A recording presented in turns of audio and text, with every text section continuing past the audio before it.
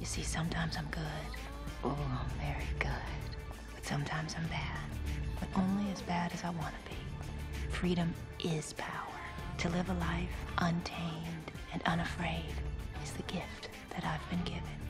And so, my journey begins.